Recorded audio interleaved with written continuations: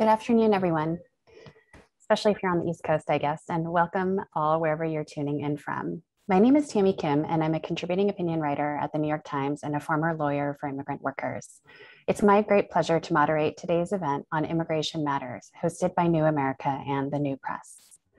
The occasion for this conversation is the paperback release of a new book here, Immigration Matters, Movements, Visions, and Strategies for a Progressive Future. But we also happen to be meeting at a critical time in the world of immigration policy and immigrants' rights. We are, of course, nearly a year out of the Trump administration, so bald faced in its xenophobia and racism and deliberate mismanagement of the pandemic. The past four years unveiled for many of us the architecture of state control and catalyzed the Black Lives Matter solidarity movements of last summer. All of us who care about civil and human rights had high hopes for the Biden administration, which has, to its credit, enacted some great reforms. But in the last few weeks, we have also seen images circulate of Customs and Border Patrol agents brutalizing Haitian people seeking asylum in Texas. And we continue to read about the separation of families and the lockdown of the border, ostensibly based on the public health threat of COVID 19. Where does the immigrant rights movement, with its many priorities in politics, go from here? I'm grateful to this new book, Immigration Matters, for giving a much needed overview of immigration past and present. It's a wide ranging edited volume that collects chapters from historians and sociologists, political scientists, activists, organizers, and policymakers. It busts myths about migration and the stories we tell ourselves about America. It challenges us to be more sensible and perhaps more imaginative in how we go about what we call immigration reform please do buy a copy of the book, which you can see linked at the bottom right of your screen.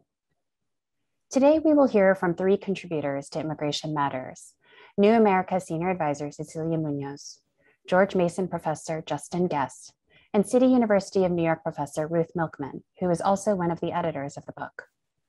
In terms of structure for today, each panelist will speak for a few minutes, and then we'll have plenty of time for question and answer.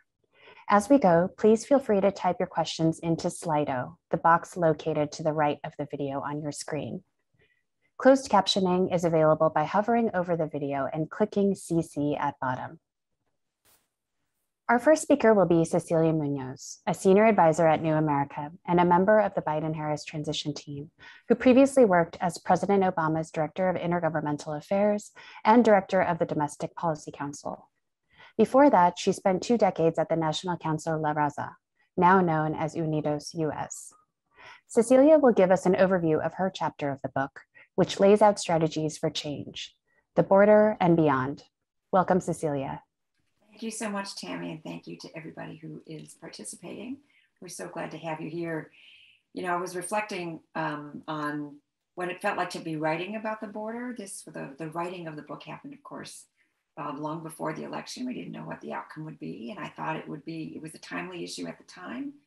I suspected it would be a timely issue shortly after the inauguration, uh, which turned out to be true.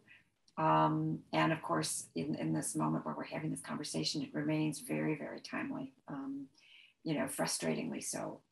Um, so the chapter in the book really outlines a little bit about why we are in the situation that we are um, but it also has some specific recommendations, and I'm going to spend my minute focusing on those.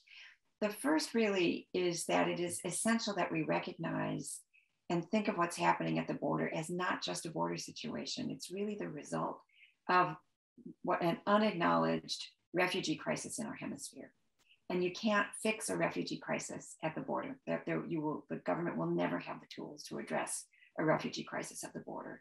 And so we, it, it's tremendously important that we recognize as a society the reasons that people are leaving and that we engage in a muscular way in our own hemisphere uh, in order to address the reasons people migrate in the first place, which sounds like a, a possibly a crazily tall order. It is not. It has just been the subject of of um, at least neglect as well as you know arguably some some really quite negative behavior by the united states over many years this is something we can address and we have to if we expect to have a manageable situation at the border. So that's recommendation number one.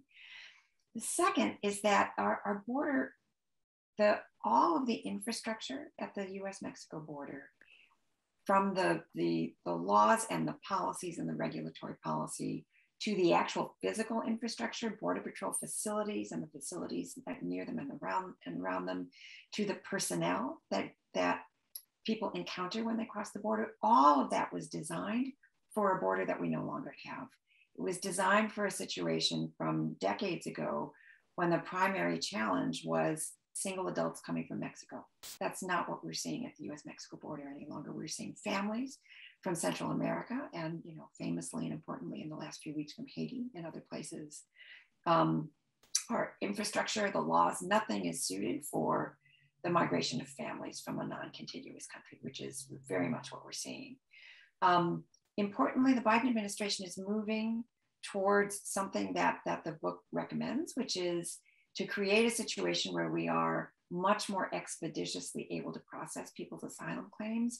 Right now, the way it works is people who are, are arriving, if they are allowed to present the possibility of an asylum claim, they end up waiting years for a hearing uh, uh, within the United States, which is a system which doesn't deliver them an answer expeditiously and doesn't deliver the kind of orderliness that I think Americans uh, have come to expect at the border.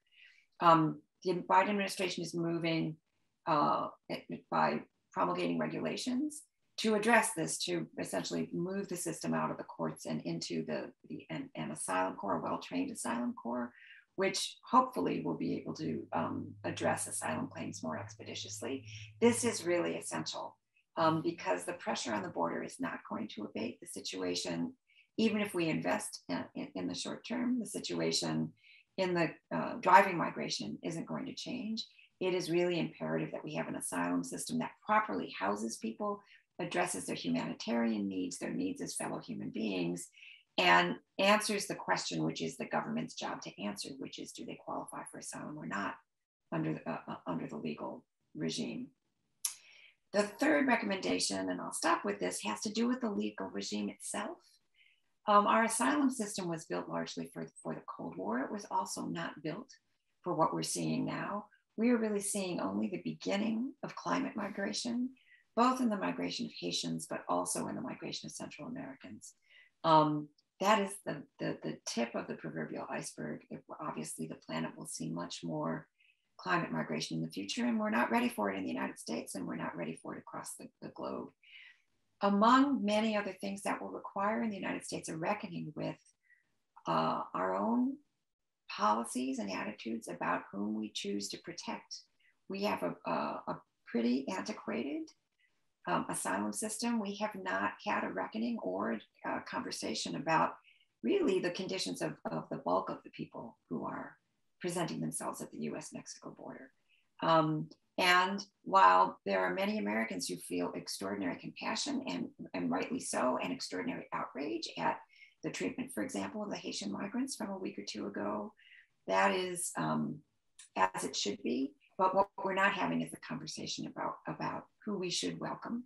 And I say this as the co-founder of something called welcome.us, which came together to mobilize people around resettling people from Afghanistan who were um, who helped the United States and our troops over the last 20 years. The whole idea is to get civil society involved both in the actual resettlement of people and in the conversation about who should be resettled in the United States and how we might connect with them. And let me stop with that and hand it back to you, Gary. Thank you so much, Cecilia. Appreciate that.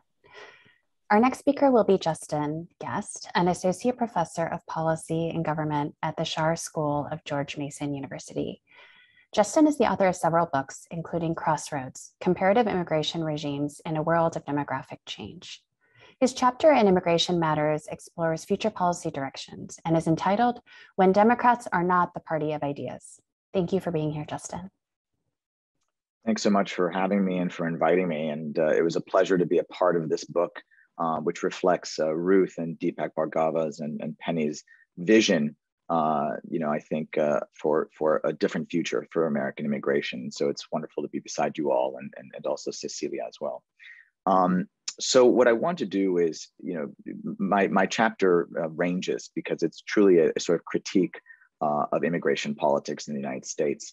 Um, but I want to you know, reflect on the current situation we're in and, and where my ideas uh, might be helpful. Um, I think it's fair to say right now that no matter what side of the aisle someone is on, uh, things are not going well with American immigration politics. It's a tough moment in history right now after a tough four years. Um, you know, we have obviously the crisis at our southern border that Cecilia has just uh, depicted uh, really astutely. Um, we have the lingering issue of undocumented immigrants in the United States, which appears the Democrats in Congress are not going to be able to legislate uh, on via budget reconciliation. Uh, and that's uh, in itself already an act of desperation. And we have the usual um, uh, stalemate as it relates to the need for labor in the country, uh, the desire to reunify with family, enormous backlogs for both admission and, and visas, and also citizenship applications. Uh, it's a really, really just a mess right now. Um, and, and that's not necessarily attributable to the Biden administration, which is still relatively new.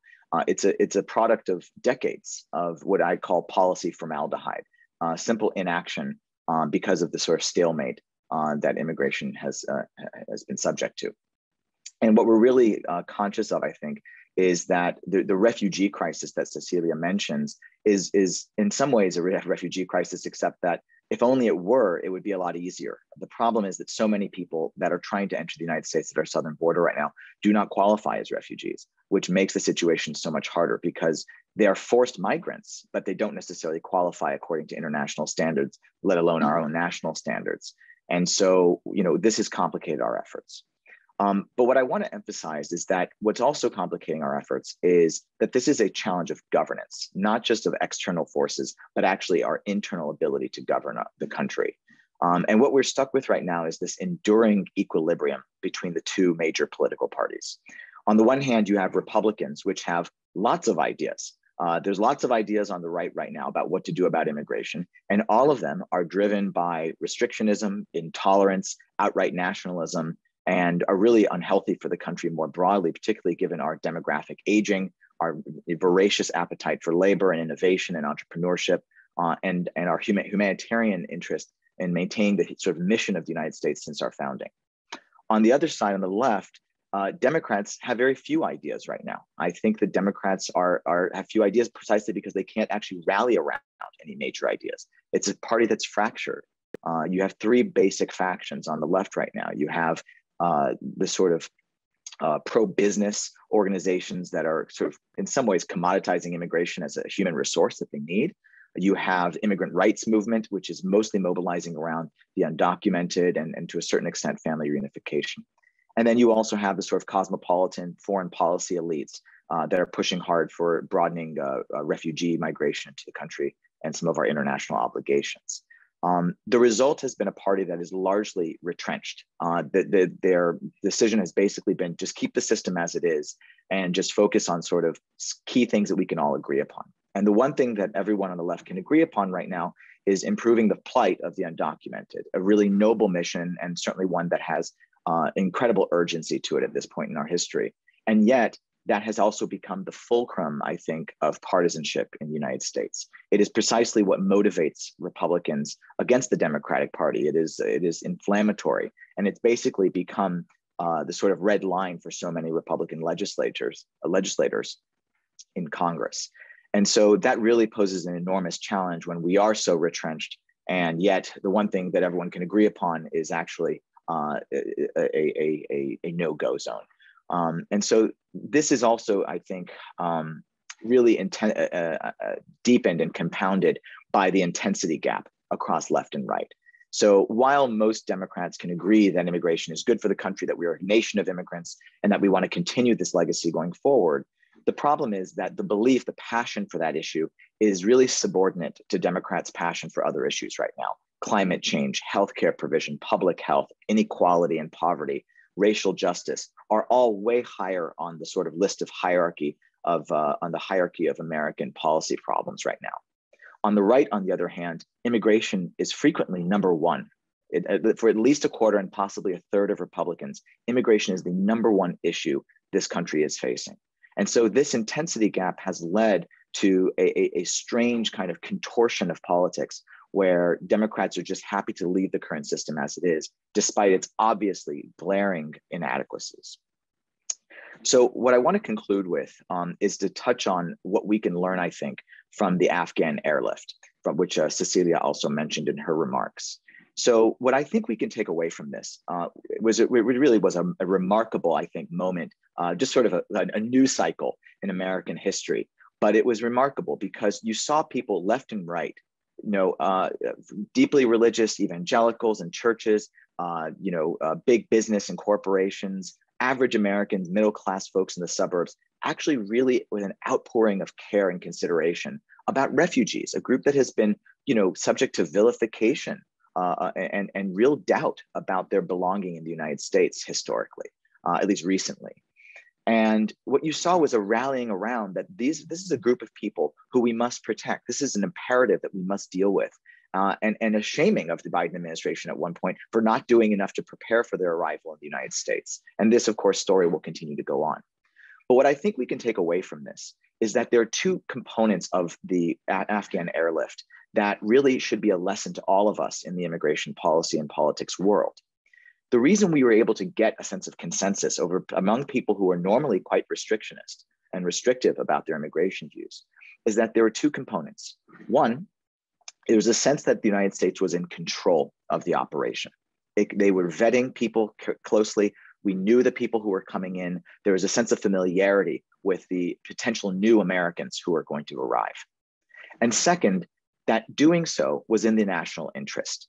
These are folks who had nearly given their lives, and some people, in some cases, uh, did give their lives, uh, uh, and, and, and, were subject to bodily harm and, and, and family harm for a country that they had never actually stepped foot in, for a country that they never fully knew. It was for an idea that is America. And that national interest and that sense of control was what opened the gates, I think, of Americans and opened the, the way to their hearts in actually uh, creating a sort of consensus immigration issue. So I think that the challenge has to be to identify ways to actually put things in the American interest, but also demonstrate a sense of control without necessarily using the draconian policies of the Trump administration, but demonstrating that the federal government is actually a good manager of this system, which right now, in the, in the times that we're looking at right now, it just doesn't look that way. And I think that is our challenge for the future to demonstrate good governance, good management, and then ask the American people to reconsider more restrictionist, uh, restrictionist views. Thank you for that political overview, Justin. Our final speaker will be Ruth Milkman, Distinguished Professor at the City University of New York's Graduate Center and the School of Labor and Urban Studies. Ruth has written widely on many aspects of labor and labor movements, including women workers, immigrant workers, and the gig economy. In addition to editing Immigration Matters, she recently published a volume called Immigrant Labor and the New Precariat. Today, she will discuss her chapter, History Shows That the Immigrant Threat Narrative is Wrong. I'll turn it over to you, Ruth. Thank you, Tammy, and um, thanks everyone for being here. So in contrast to what Justin just described in regard to the public consensus across the aisle about the Afghan refugee situation. Um, what I'm going to talk about is the opposite. It's a it's probably the third rail of the immigration conversation and the one that um, animates the Republican passion that Justin mentioned a minute ago, um, namely the view that immigrants and especially low wage immigrants are a threat to the American economy, to American culture, to uh, taxpayers, and you know, because they're burdened with costs that they wouldn't otherwise have if folks like that weren't in the country. Um, so I call that, and um, others do too, the, the immigrant threat narrative, the idea that um, immigration is a threat rather than an opportunity or a benefit um, to the United States. And I try to, um, focusing on the labor side of that, I try to look at the problem from with a historical lens, looking at um, what is the process through which low wage immigrants um, become part of our labor force, and you know, is it damaging to U.S. born workers? And um, what I try to show, well, there are two threads to it. First, um, in industries like construction, short haul trucking, um, meat packing, there is a dynamic through which the, the sequence of events is this employers take steps to attack unions, degrade jobs, cut costs, especially labor costs, um, which leads to deterioration in working conditions, um, benefits evaporate, things like pensions that used to be standard in those kinds of industries. Um, and then US born workers in, in these industries, mostly that means US born men, white men actually, though not in meatpacking, but in construction and trucking, that is who used to be in the labor force. They look at what's going on in the industry and they say, I'm not doing this anymore, not under not under this regime. You know, I, I I'm happy to do it if I have a pension plan and I get paid by the hour and I make a decent living, but not anymore. And they move to other kinds of jobs that are still um, viewed as desirable. I should mention there's a lot of turnover in the labor market anyway, so people are moving around all the time, but this is one of the drivers of it in those industries. And then employers are faced with vacancies, labor shortages. By the way, we do have a lot of labor shortages right now, not necessarily in all these industries, but it's not irrelevant to what I'm talking about. Um, and then um, employers turn to immigrants, often recruiting them from across the US Mexico border. Um, historically, that there's been a lot of that, not right now.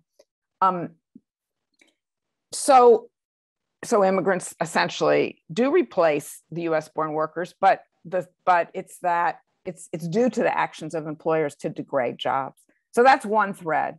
And the other is a little different, and it involves um, mostly female workers in the care work sector.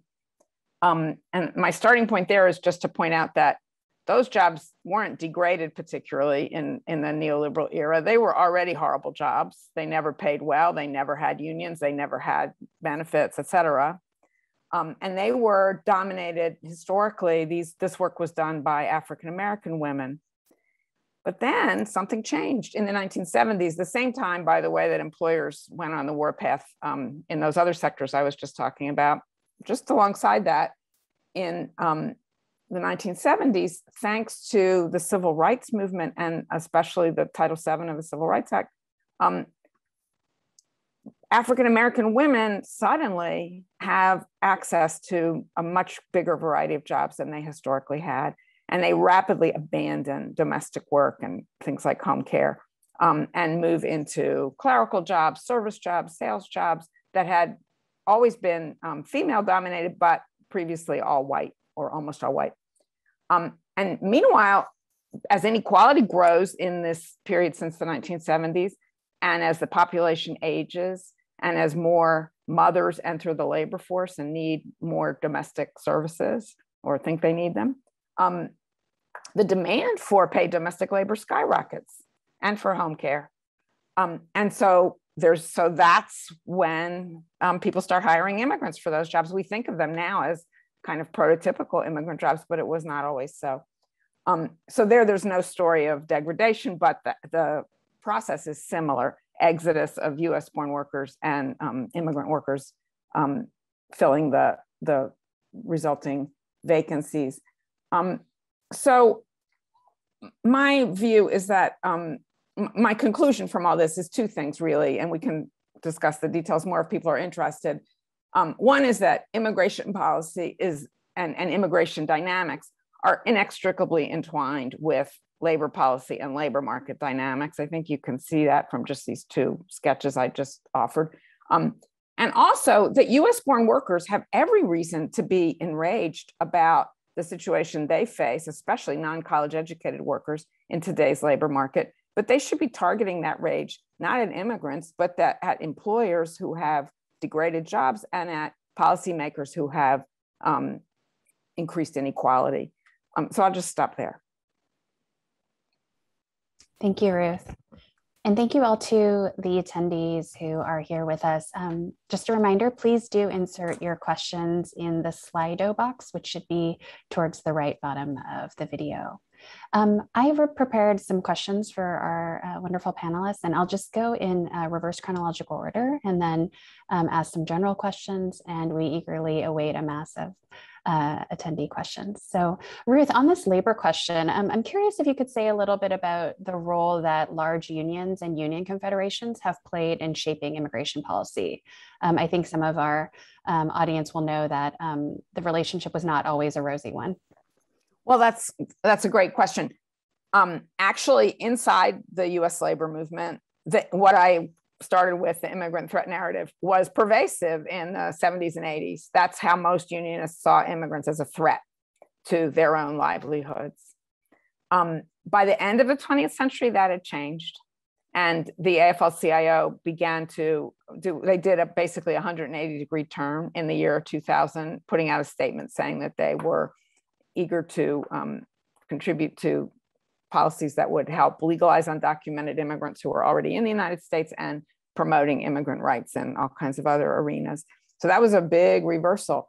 And um, I wouldn't, well, and and they did become in the, well, okay, so that's 2000.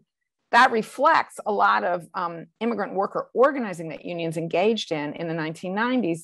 To everyone's surprise, I think, including some of the organizers themselves, um, this was not as difficult as they anticipated. Immigrants eagerly um, embraced opportunities to unionize, which, if you think about it, it makes sense. Most low wage immigrants, this is, come to this country because they want to advance themselves economically. So there's not that much union organizing these days, and there wasn't even in the 90s, though there was more then than now.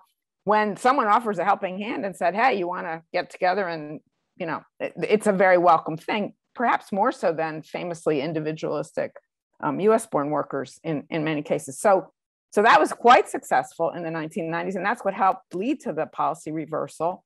Um, so that the labor movement began to see immigrants as kind of a prime target in terms of new organizing instead of as a threat to their existing membership. Um, and then certain unions, especially the ones that had done that, um, I'm thinking of especially the Service Employees Union, um, SEIU and the um, HERE, now called Unite Here, the Hotel and Restaurant Workers Union. Um, and they really became very central to the immigration policy discussions and, and um, mobilizations of the first decade of this century. Um, then in 2008, everything sort of falls apart with the Great Recession, where immigrants basically stop coming and the nation is preoccupied with other things. So we haven't heard so much from um, labor on this topic since then, but that's the that's a uh, potted history. Thank you. That's really helpful. Justin, on, on the political question, I'm curious, um, you in your chapter incorporate some research you've done um, comparatively across countries on um, regulation of national um, immigrants. And you find that the US has some, some unusual features. Um, what are those features? And um, you, why do you advocate for something you call immigration moneyball? Maybe you could explain that briefly. of course, happy to. And uh, what I'll do is I'll post a, a link to the article that that uh, idea comes from, uh, which was a piece in Politico uh, from a couple years back uh, on immigration moneyball.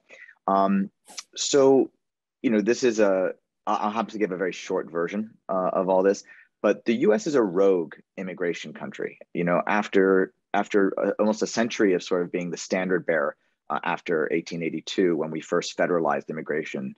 Um, the US is now exceptional uh, and not always for the best reasons. Uh, and that's mostly because of, of the stalemate that I mentioned in my opening remarks. Um, our immigration policy is largely unchanged since 1986 and fundamentally unchanged since uh, the Immigration Naturalization Act of 1965. Um, we just haven't had any major overhauls of the system. And so we are, you know, outdated in many ways compared to what other countries now do on immigration in order to advance their national interests um, for commercial reasons and also economic reasons and also for uh, to address demographic aging. So the, the, the fundamental reasons why we look different is that unlike any other country in the world, we emphasize family migration uh, in our permanent visas.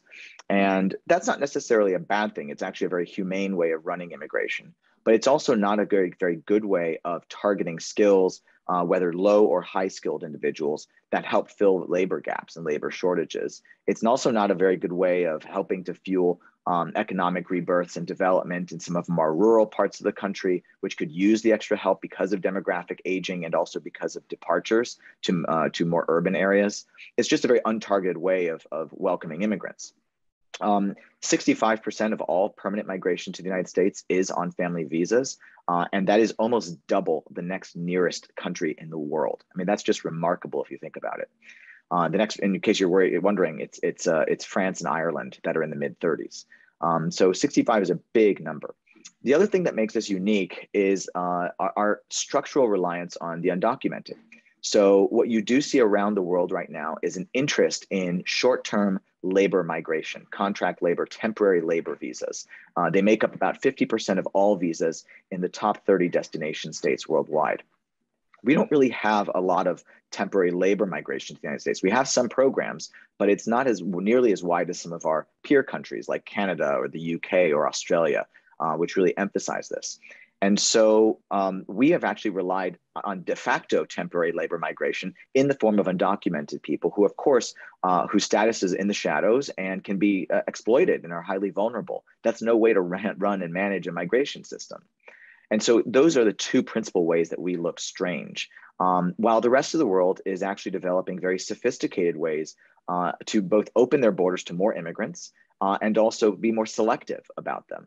And, uh, and of course, my other work details a variety of ways we can do that, including Moneyball migration. Um, and the Moneyball idea, in, in very brief, is basically the, the, a way to apply the logic of data analytics that you see in the, in the sports world uh, to the migration. So instead of picking, you know, a defenseman or, or a, a first baseman or a point guard, you know, we're picking engineers and we're picking entrepreneurs and we're picking uh, software programmers and we're picking math teachers these are who we need to be picking and how can we leverage analytics to do that there are key ways if we were to collect the right data and then leverage it in our immigration selection uh, and that would allow us to welcome more immigrants because it gives that same sense of control that i emphasize so much in my opening remarks Great, thank you for that. And maybe we can circle back to uh, the low wage worker part of that Moneyball equation as well.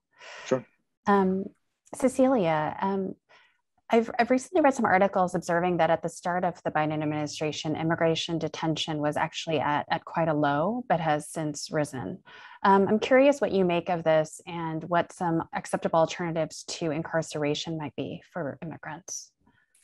Yeah, it's a great question. That's in some ways that relates to the earlier point I made about the the tools that are available at the border are just not being the right tools. And one of those, right, that's been used for for a long time facilities in, in which the federal government has invested are detention facilities. And there are some circumstances where the law actually requires detention um, on the assumption that it will act as a deterrent to, to future people trying to come. And of course, there's really no evidence that that's true. And there's increasingly evidence that is not true. In fact, in some ways, if the if the four years of the Trump administration doing all of the harshest things they could imagine to migrants, including taking their children, um, and, and the fact that none of that actually served as a deterrent suggests that the notion that like the whole house of cards needs to fall that this notion that um, that whatever the decisions the united states makes at the border can actually act as a deterrent to migration because it's pretty definitively proved not to be true. Um, so I would love to see an environment. This would require, uh, you know, action by Congress, which is something that you know isn't forthcoming in these days. But I would love to see an environment, particularly as it relates to the folks who are coming forward and asking for asylum, in which we provide sort of a community-based approach to housing them while they are waiting for their the answers to their asylum claims, which under the regulatory regime that I described could happen relatively expeditiously. That is a completely different approach it's used in some parts of Europe. Um, but the idea is that you know the government's job is to sort among the people who present themselves at the border who is eligible for entry and protection in the United States and who is not. I mean, I think we should change the rules around who is and who isn't. But with whatever set of rules we're talking about, it makes sense to allow folks to enter, provide them with um, uh, access to a community and housing and humane conditions um, that acknowledge their circumstances and, and, including acknowledging the fact that many of them will have endured trauma. Um, uh, get them an answer to their asylum petition expeditiously. And then if the answer is yes, they go on their way in the United States. And then they, if the answer is no, we need the infrastructure to return people humanely, which is something that we don't do well at all in the United States. Again, most recently and horrifyingly, by sending people back to Haiti and quite literally throwing their belongings on the tarmac. Um, so there's a, a lot that needs to change. There is a different vision for how we might use facilities at the border, but that suggests a different kind of facility and really from beginning to end a different kind of approach. And one that is, I would hope, a little bit more worthy of who we are as the United States. Thank you for that. Going to um, bring in a couple of audience questions here. Um, Justin, I might turn this one to you. Um, one of the audience members wants to know how industries that profit from migrant labor relate to the historically pro-business Republican Party's nativist turn. Um, and I might just inject here, I mean, maybe you could speak to, um, you know, poultry, the poultry plants or, uh, you know, the farms where immigrant workers have, have supplied that labor for many decades now. And uh, the fact that uh, the owners of those, uh, those um, businesses often are um, very much in the Republican Party. Yeah, I'm I'm happy to. It's it's actually really something that's be good for Ruth to talk about actually as well, um, because this is a, a, little bit more up her alley. Maybe what I'll do is I'll just contextualize Ruth's response by saying that um, the realignment of American partisan politics um, that we have witnessed basically since the 1990s uh, into the into the 20 teens um, is in many ways uh, encapsulated by immigration um, because rather than seeing a sort of left right spectrum, I think the parties are now increasingly on an open closed spectrum. You know, one is obviously more nationalistic, nostalgic, uh, and, and retrenchist, whereas Democrats are obviously more liberal, more cosmopolitan, uh, and, and, and more open. And so immigration is the perfect expression of this. And a lot of those pro business organizations, the Chamber of Commerce, uh, lots of business owners, and, and, and, uh, and, and, and, people who employ a lot of uh, laborers, um, previously affiliated very closely with the Republican Party. Um, on this issue, the Republicans are no longer with them. No matter what, how strong the business interests are, it was very clear from Donald Trump's 2018 uh, attempt uh, to uh, float a new immigration bill um, via Jared Kushner's team, uh, that anything that that kept the status quo in terms of the number of immigrants coming into the country was dead on arrival with Republicans. And of course, that bill was also dead on arrival with Democrats for a variety of reasons as well. Um, so the party realignment has completely adjusted these coalitions. Now, that's not to say that you don't have a lot of business owners who are still Republican, and many of them may even be nativistic and, and uh, uh, in their views and nationalistic in their views. Um, but it basically means that they're not as aligned on immigration as they once were before. Uh, and it's mostly because immigration has become that central fulcrum where everything else is sort of, you know, uh, uh, revolving around. I mean, it is really a way of predicting people's views on a variety of other national uh, matters if you can know how they feel about immigration. Um, in terms of, you know, the actual management of labor, I'm gonna actually turn that over uh, to Ruth, though. Okay, sure.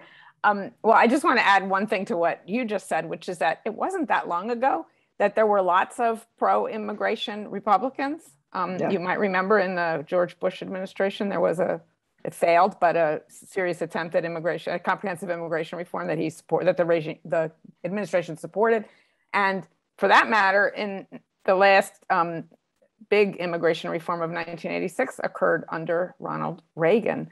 I remember being shocked by, um, I used to teach at UCLA where I had an, a student whose parents had come to the United States undocumented. Actually, I had many such students, but this one told me that her parents thought the best president the US had ever had was Ronald Reagan. Why? Because that's how they got legal status. so this is not, this is a recent development what Justin just described. And you know, sadly, the business interests that do support expansive immigration policies are very quiet about it. They, they will complain on the one side about in agriculture, for example, that they can't find workers. And at the same time, they might support Trump and the other, the rest of the so-called America First agenda. So it is a huge contradiction. Um, yeah. Well, I'll just add, I've worked with some of these businesses um, and some of the associations that they participate in, which have been in the past more vocally pro-immigrant. The, the immigration reform that passed in 1991 had a strong business coalition. Um, uh, and even re- as recently as 2013, when a bipartisan comprehensive immigration reform passed the United States Senate with 68 votes, like remember when that was a thing that could happen? um, that it also had strong business community support. What's really happening is that the, the, the folks who are, who acknowledge that they frankly need immigrants in the workforce and they want a more generous immigration policy are scared to death of the current political climate and fear lifting up their heads uh, and saying what they believe because of the backlash that will inevitably ensue. And that is um, a huge part of the reason that despite the fact that the majority of the country supports the kind of immigration reform that's been on the table now, you know, three or four times in the last 20 years, we can't get it over the finish line. And that that's that it's not a policy problem, it's not a substance problem, it's not even a coalitional problem. It's a problem of Republican intransigence from beginning to end. It's a political problem. And if I could just offer a, a short rejoinder, I also think that consistent with what Cecilia just said, we we know what policies are out there. You know, there's been tons of research out there. This is an issue that is no longer dictated by policy or substance. It's really driven by emotion. And in many ways, you know, this this recent switch and realignment um, and I would just, you know, Ruth and I may disagree about how fast it's been. I think it's actually been decades in the making because there's been so much baiting of, of either racist or nationalist or nativist uh, rhetoric on the right um, that eventually Republicans were expected to actually deliver on some of these things rather than just use it to sort of stir people up, which is what um, people under the Bush administration and during Clinton, uh, the Republicans did then. Uh, it was it was a race to who could sound more nativistic and nationalistic, even though none of those actual policies were, were actually pursued until the Trump administration. And so when you whet the appetite of folks uh, for this kind of uh, for these kinds of ideas, eventually they're going to say, okay, well, are you going to deliver now? I want it. And that's what's happened. And I think it's so much of it is about fear, threat, you know, or um, sympathy and and outrage. You know, that's what's driving immigration policy right now. It's not about you know, oh, what can we do to advance the mission of this country, to advance our purpose, to strengthen us? That's not what people are talking about. That's why it's so important to change the conversation, although it's very difficult in the face of those, you know, passions that that you just described. I just want to mention something that um, appears in something Justin wrote a few years ago, a book called The New Minority, which studies um, I think your term for them is post-traumatic industrial cities, like Youngstown, Ohio is the US example he talks about. And um, there, there's a tremendous amount of um, immigrant scapegoating and um, blaming immigrants for the plight of workers who once had, you know, so-called middle-class jobs in factories and those jobs have evaporated. And it's astonishing that in that situation where there's no logical way in which you could possibly attribute the closing of those factories to immigrants. There aren't hardly any immigrants in Youngstown, or at least not at the time that that book was written. So, and yet they they they are completely convinced that this is what's the problem. So it, it really does defy logic. And you know, I think you're right that there's a huge emotional you know component, and it's very easy to fall into you know to um, buy into a scapegoating kind of um, perspective, especially if you're hearing it every night on Fox News, which you know we still are. Thank you. Um, Cecilia, I might turn this question to you. This is from Hassan, who wants to know what can or should be done to counter the anti immigrant movement. So, the sort of apparatus attached to Republicans, but not only Republicans, really, um, who have been responsible for creating narratives of threat and invasion, specifically groups like FAIR, Center for Immigration Studies, Numbers USA. Yeah. So, what's so interesting, I mean, this has been a conundrum for I've been doing this more than 30 years. It's been a conundrum the whole time. The sort of information about FAIR and the founder of FAIR, a, Michigan ophthalmologist named John Tanton, um, whose, whose racist white supremacist views sort of led to his founding of both FAIR and then the Center for Immigration Studies starts as a project of FAIR. You have this kind of cascading set of organizations which all have the same origins, all have ties to white supremacy, and they have dominated, they've been the voice of the sort of anti-immigrant side of the equation, really for, for, for at least 30 years longer, 40. Um, and the information about the, the racist connection has been visible in the public eye since 19, about 1991, right? So we've known and been able to demonstrate who these folks are and where their views come from for a really long time. Um, and the upshot of all of that is that really is, is that the media who cite them don't care, right? It's not as if there weren't a lot of folks pointing that out and suggesting that it is not legitimate to paint an organization with a racist history with that with racist origins as a neutral think tank that is merely anti-immigrant that that is inaccurate has largely fallen on deaf ears. You saw kind of a blip of recognition as the trump administration um, emerged onto the scene and you started to see right you, you, the media started to recognize white supremacy for, for what it is and in some cases got uncomfortable citing these sources but mostly not. Mostly it, there's there's still dominating the, the conversation. So you know while i've spent and many people have spent many years um, sort of elevating that this is illegitimate we have not yet succeeded. Um, and you know for many years we were able to simply outwork them and build broader coalitions and succeed in moving things forward that they opposed and obviously the you know we are not in such a moment now. And the part a big piece of the reason for the political paralysis on immigration issues has to do with the fact that as much as it pains me to say it the sort of white supremacist view the anti-immigrant view is ascendant it has been ascendant for a while and has created the fear that you just heard us describe with respect to businesses with respect to republicans including republicans who used to be part of the coalition who were in some cases the primary authors of things like the DREAM Act, who no longer can bring themselves to support it or vote for it uh, on the floor because the backlash is so strong. So, uh, you know, I, I, it's more of an explanation than an answer because collectively as a field, we have not figured out how to disempower organizations with explicit racist origins who continue to be cited as if they were merely good thinkers on the anti immigrant side. Thank you. Um, I have a couple questions here uh, addressing social cohesion as a concern in the crafting of immigration policy. And I might start with Justin, but everyone should feel free to jump in. Um, so one person um, citing, I think, observations by Eduardo Porter and other researchers um, notes that immigrants comprise less than 14% of the US population, which compared to other countries, many other countries is actually quite low. Is there a quote unquote acceptable percentage? And are there real concerns to be addressed regarding social cohesion, what it kind of means to be part of this policy? Justin? Yeah, it's a fantastic question. Um, no, there is no such thing as an acceptable uh, share. Um, there's no evidence that when you pass a magical threshold, nativism abounds or anything like that. Um, what there is evidence of is that there is an acceptable pace of migration. So there's an acceptable pace of change. Um, what we see people reacting to is acute influxes, uh, which again render the sense of the loss of control. And, uh, and, and that sense of control is really, I have found in my own research as well, uh, to be pivotal uh, to reactions uh, that are more anti-immigrant and more uh, restrictionist. Uh, and so I think we have to recognize that um, human beings broadly, left and right, don't like lots of change all at once, which is, you know, pretty normal.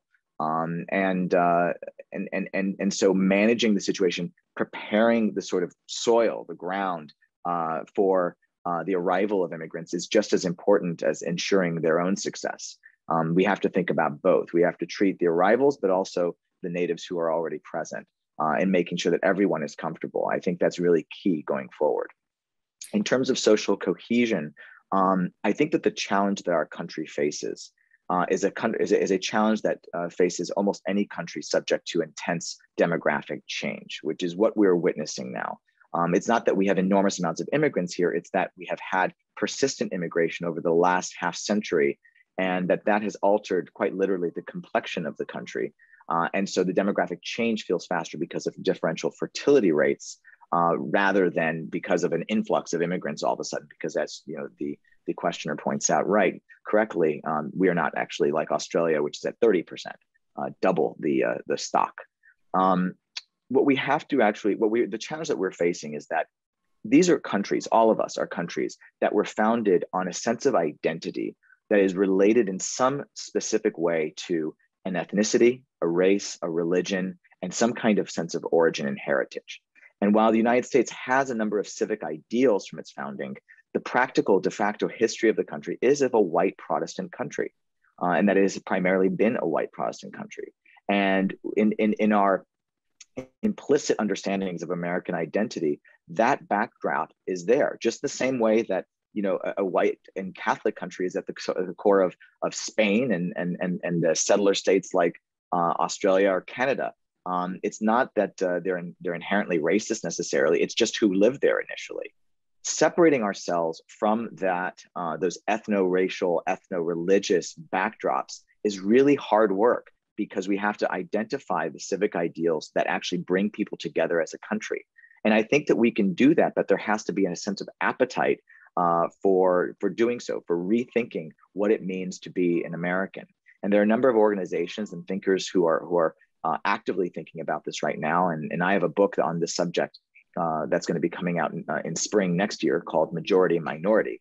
And it's going to be a challenge, really, I think, of the next several decades of our country about how to rethink who we are. Uh, and I think it can't be about uh, any kind of sense of origin, but rather in the sort of sense of mission. What is our purpose? And we already have the fundamental um, uh, materials for that sense of mission. I think that everyone agrees that, that there is still something, it's flickering, but it's there about the American dream. And I think that there is also a sense of struggle that unites everyone as well. And I think that if we can leverage that shared sense of struggle, that shared sense of dream of working towards something, that America is a project, then I think we'll be on our way to doing so. Can I challenge that a little bit? Um, I think in sure. general, I, I agree very much with the thrust of what you're saying, although I would say that sort of the white Protestant thing, which is the story that we lean on and that we tell ourselves was was ne never the, the whole truth. Um, if you look at, you know, the folks with names like mine were here in what is now the United States earlier um, and of course, the whole southwestern United States has a very, very different history. We just don't know it. We don't acknowledge it as a history of the United States and its people. And so our history is more complex and, and contains more diversity than we acknowledge. And in some ways, that, that that's where the seeds are of, of the answer here, because we have in fact sort of come together around around a set of ideals, which is what makes us the, the, the United States with a lot of diversity for a very long time successfully. And that has been, I think it's a mistake to assume that our demographic change is a challenge to that because we have almost never had times when we didn't have demographic change. And there was a time when, you know, Benjamin Franklin was worried that we were all going to be speaking German, for example.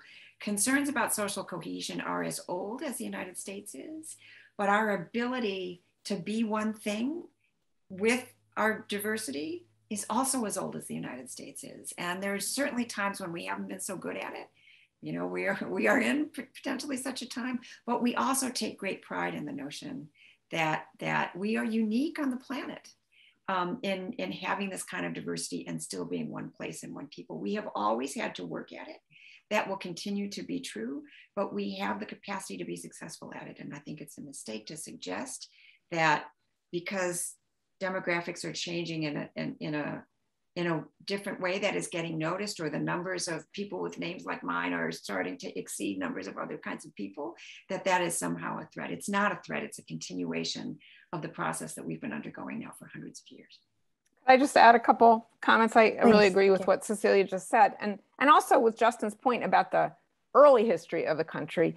But let's not forget the the first great wave of migration of Southern and East European immigrants, um, they were greeted in exactly the same way as Latinos and Asians are now, with great suspicion, racialization, et cetera. And, um, and now they consider themselves white and American in a fundamental way that they view people of color as not being. I remember as a kid coming home from school and reporting to my mother, who was the kid of Russian immigrants, Russian Jewish immigrants, that um, we were taught to say in school, our forefathers came from England. And she laughed and she said, Oh, yeah, Beth McMillan, the one African American kid in my class, her, her forefathers came from England. And later I realized how it was equally ridiculous to say it about me.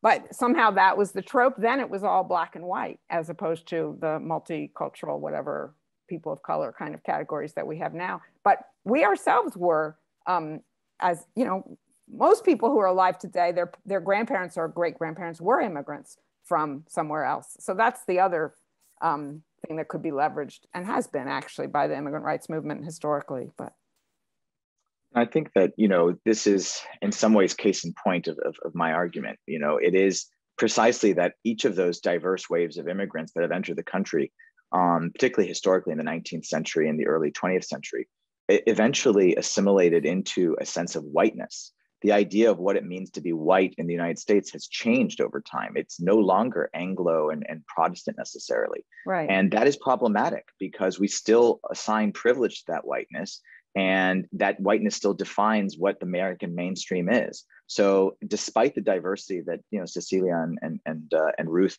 um, you know, properly point out, um, that has been a defining uh, component of the United States demographically, um, it has been hidden by this sort of uh, innate and sort of, I should say inherent desire um, to to to move gravitationally towards the sense of whiteness that has defined who we are. And I think that's a really a principal challenge of our times, as we try to actually bring ourselves to create a sense of cohesion with people who are ostensibly not white and may not want to be white.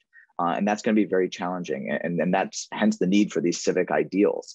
Um, and if anyone's interested in this idea, I published a piece about a month ago in the New York Times. Uh, it, it, was an op ed, and uh, hopefully we can link it and, and, share it. I think it's already actually in the chat. So everyone can double click on that and, uh, and actually see uh, uh, what I have to say in, in a little bit longer form. I would just add that this shows that not only I said before in um, my presentation that immigration policy is entangled with labor market policy. Let's also, it's obvious, but I think it's a good note to wind things up on immigration and race are deeply inter, you know, interconnected and white supremacy is the target that we need to focus on as we um, try to move this agenda forward. Yeah, I would agree. As someone who is not white and has no desire to be white, does not necessarily feel a whitening pressure, but that certainly the the sort of mythology of the U.S. is, is as you've described. I would also maybe suggest that I think Native American um, thinking around kind of what immigration is and sort of what social cohesion is has been quite useful to me in trying to understand what what uh, imaginative possibilities, at least for migration policy, might be. Um, we are actually at the end of our hour. We have so many wonderful questions um, that we didn't get to, and I, I, thank the listeners for those, and I'll pass them on to the panelists. Um, but thank you so much to Cecilia and Justin and Ruth for your generous comments and your expertise, and for putting together this wonderful guidebook for us all to to engage with this much much uh, further. And thank you to New America and the New Press. Uh, please do purchase the book at the link on your screen. Thank you all so much. Thank you.